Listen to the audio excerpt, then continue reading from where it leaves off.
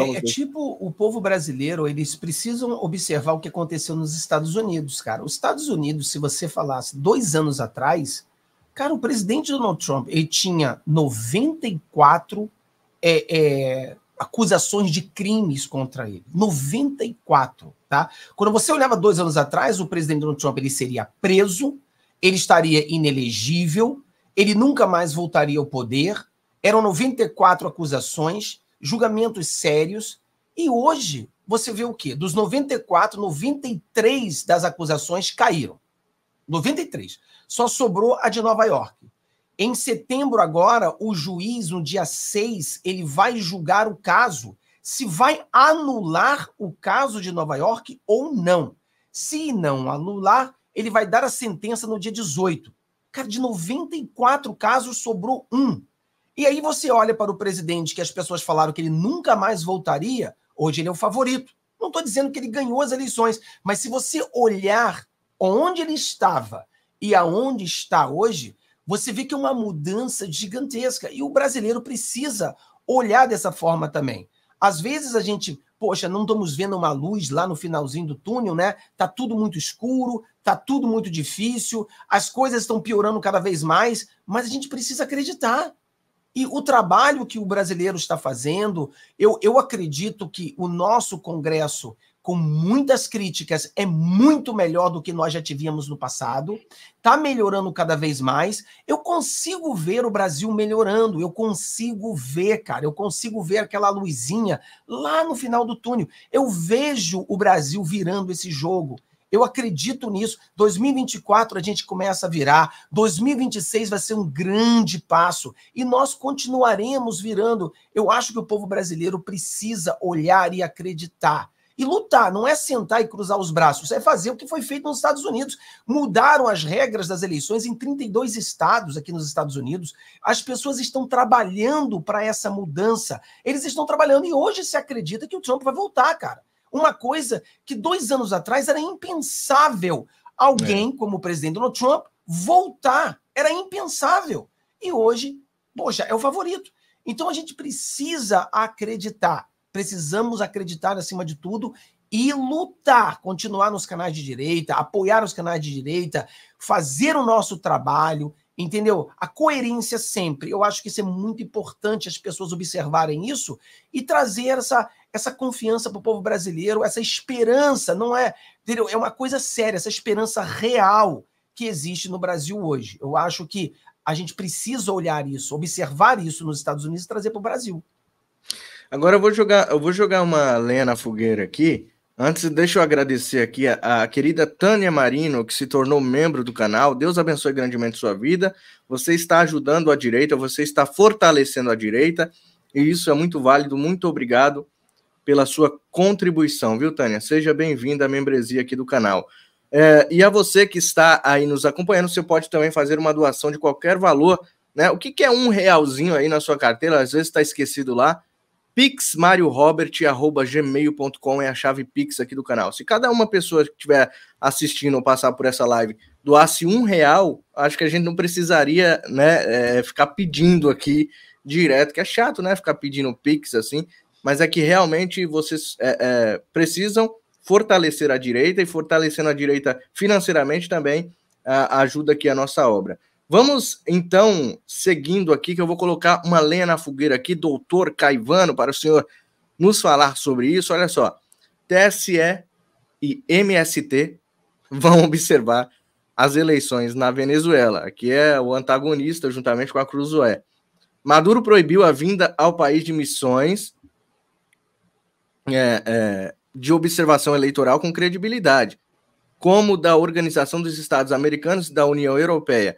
A grande maioria dos observadores estrangeiros convidados pertence a grupo que aplaudem a ditadura de Maduro. Então, os observadores é tudo do ladinho do Maduro, né? Só que aí o, o TSE ele rebateu, né, a fala de Maduro, né? Claro, a presidente do, do TSE falou assim: olha, o sistema é totalmente auditável no Brasil.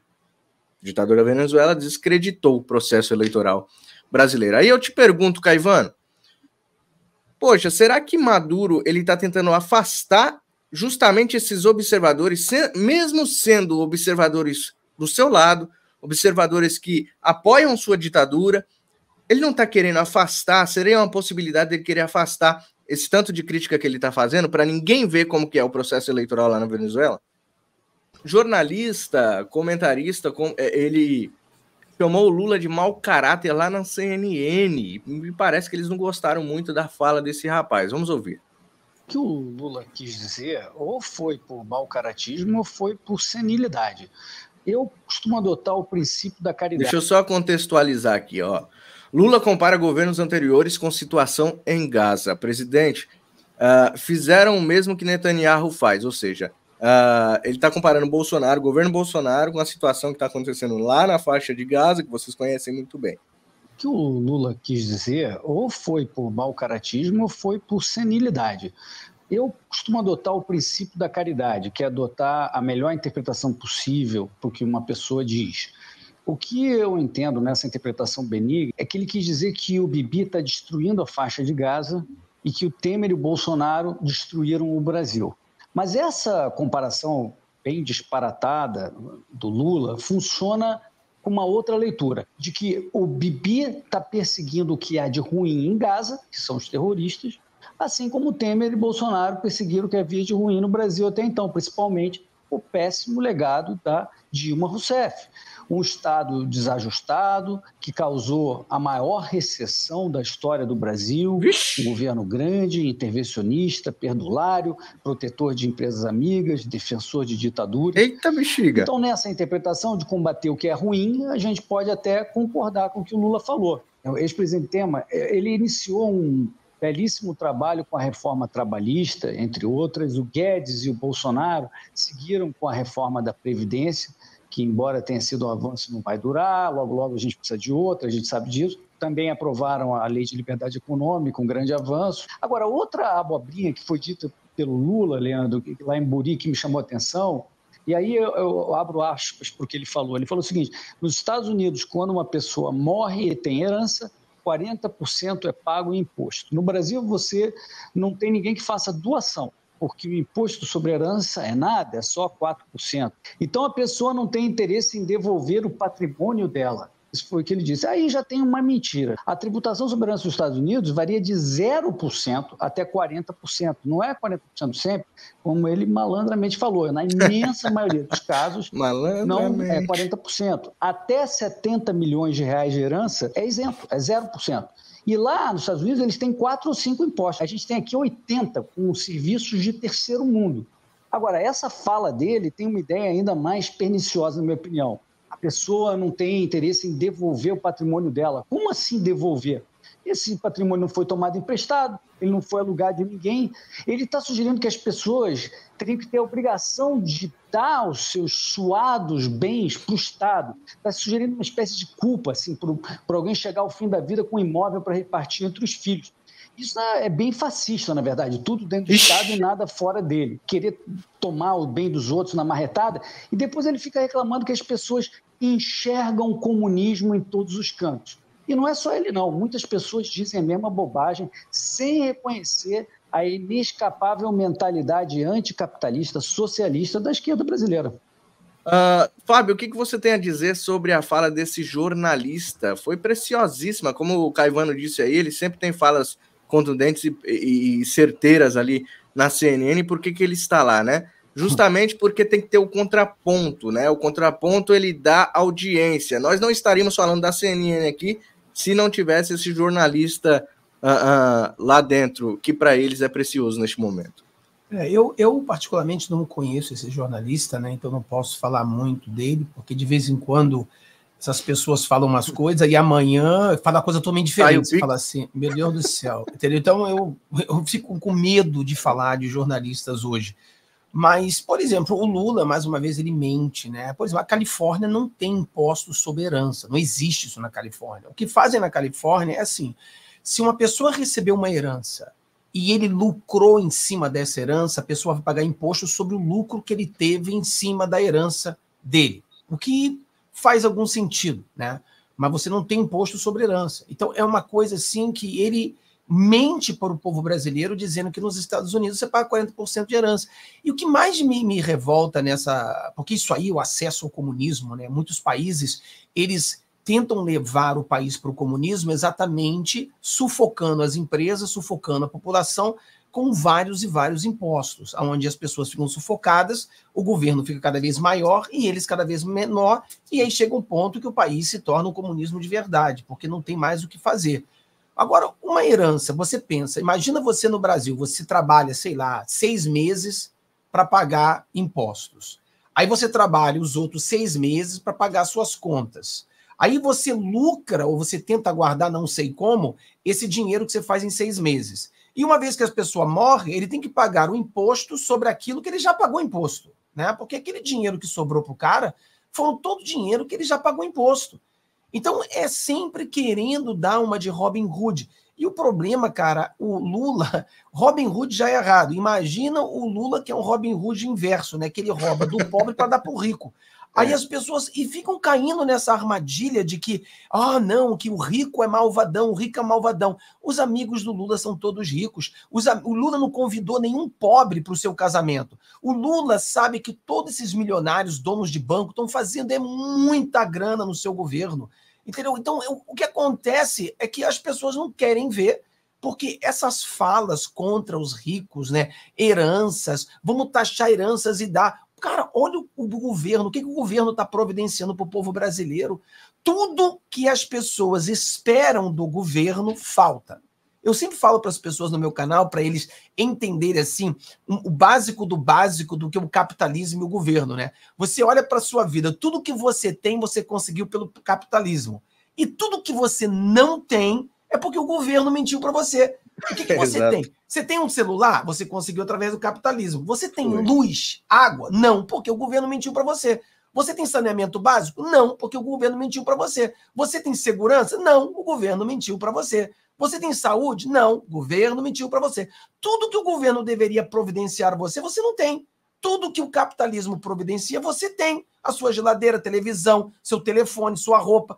Tudo que você tem veio do capitalismo e tudo que você não tem é o próprio governo que mentiu para você. Mas ele disse agora, ele arrancar dinheiro de todos os lados. Porra, no Brasil, cara, virou uma caça níquel, né? O governo quer levar dinheiro de todos os lados. Não vai sobrar nada. O governo fala assim: ó, não vou cobrar imposto de renda para vocês que são pobres.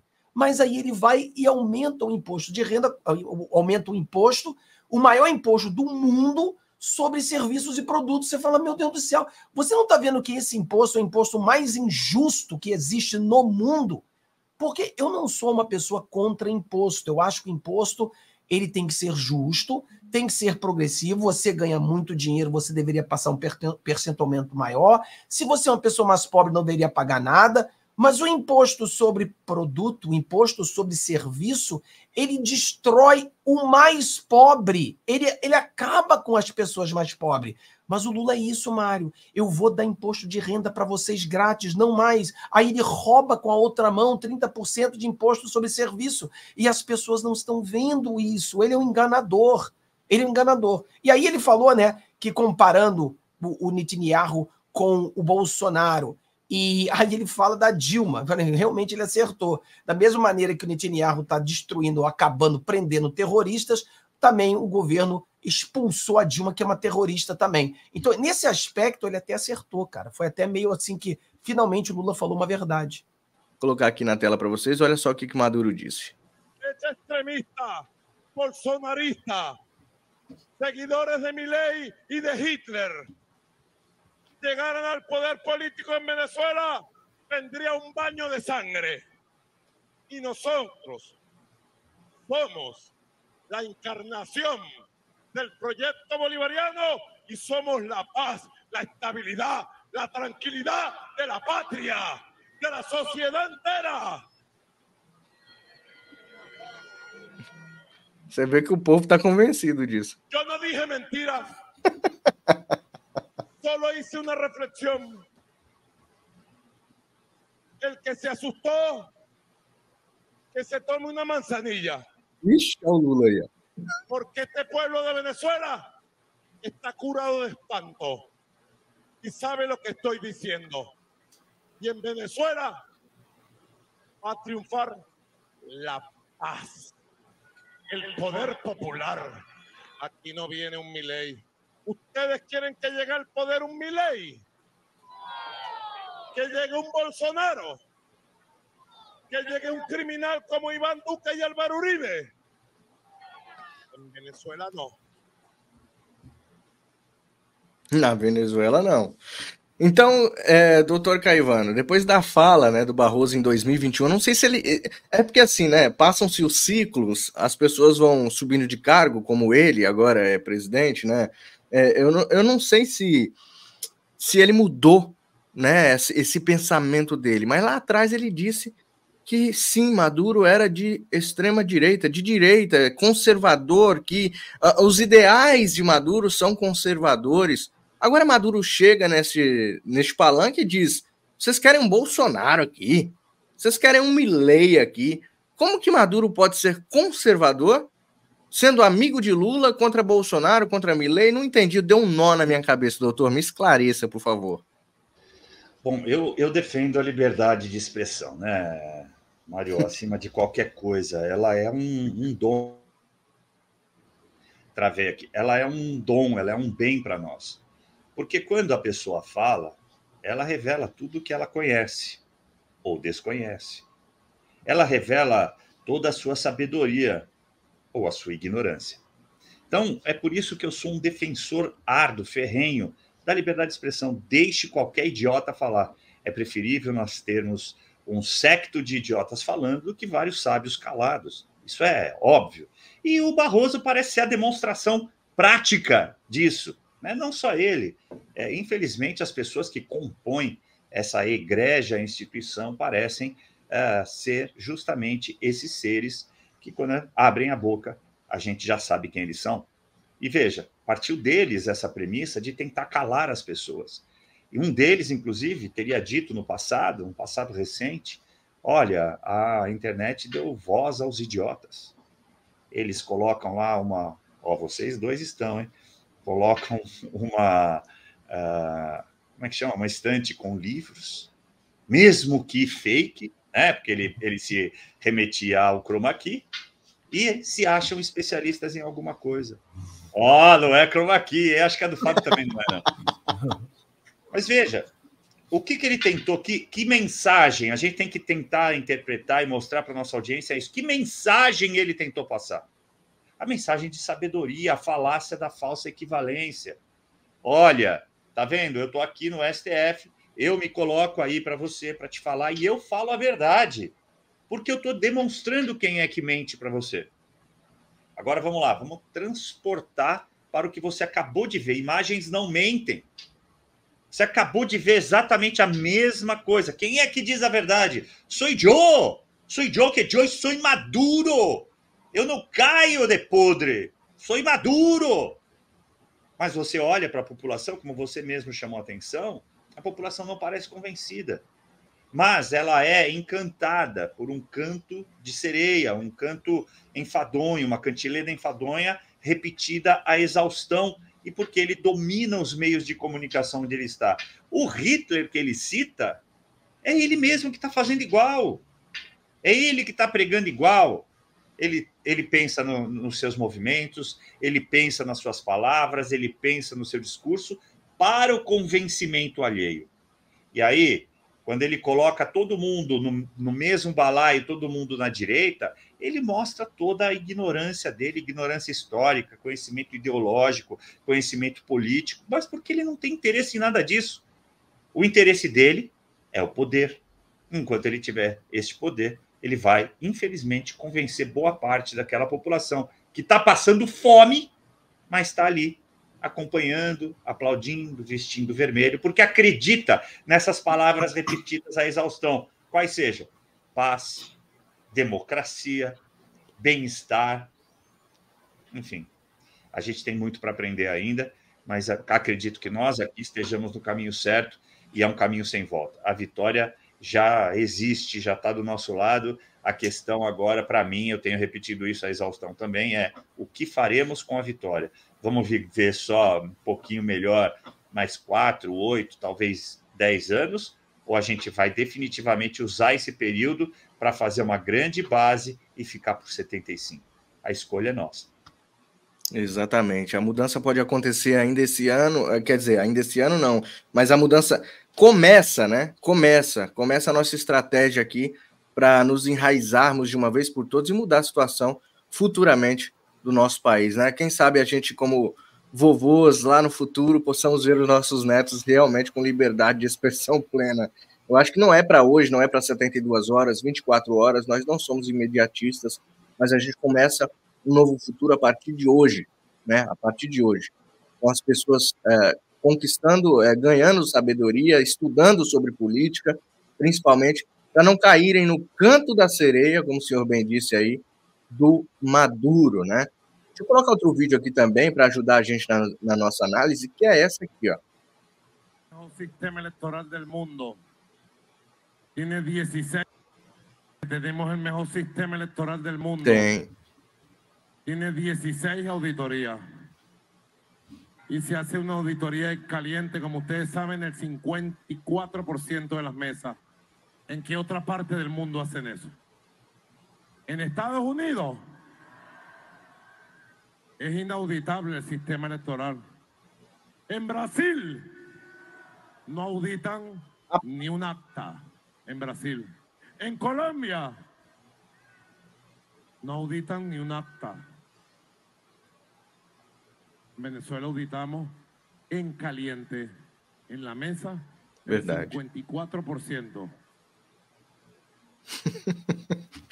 pois é. Neste momento aí, eh, alguém está falando aqui no meu ouvido que o Xandão começou a se movimentar, começou a pedir para a Polícia Federal bater às 6 horas da manhã lá na Venezuela, na, de, na casa de Maduro, ou não. Porque isso aqui é um crime hediondo que ele cometeu aqui. Isso aqui é um crime o cara falar que a, a nossa justiça eleitoral, nosso TSE, não audita as caixas mágicas? Que negócio é esse? Se nós brasileiros não podemos falar uma coisa dessa, imagina um cara que né, não, não tem exemplo para dar, né, não, Fábio? Ele não tem exemplo para dar.